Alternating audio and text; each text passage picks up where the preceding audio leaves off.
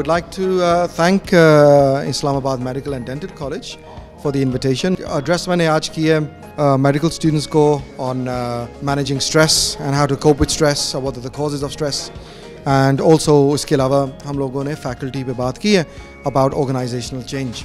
तो मेरे ख्याल ये बड़े topical issues हैं हम लोग I'm glad कि when we were growing up as uh, as students, uh, these kind of things were not discussed. So, uh, you know, I've had the opportunity to work in an environment in the UK where we do go through change, etc., and having the uh, uh, experience of uh, change management. So it's always good to come back and talk about these things. We learn from one another.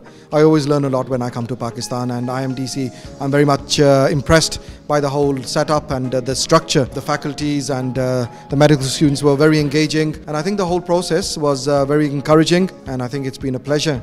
So inshallah, I look forward to coming again.